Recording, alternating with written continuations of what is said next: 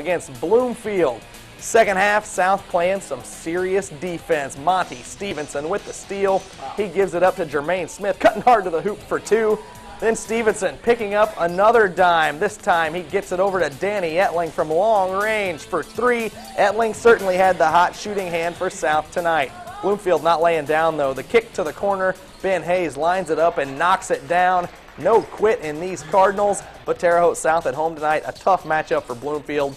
The Braves get it to Jeffrey Turner. Nice physical move inside for the deuce, and the Braves pick up the home win, 75-48 over Bloomfield tonight.